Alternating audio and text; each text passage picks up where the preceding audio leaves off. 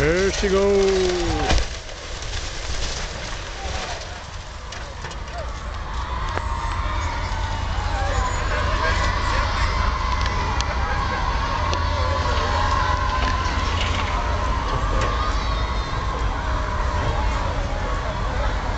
En sehen, zijn helpt in Commons.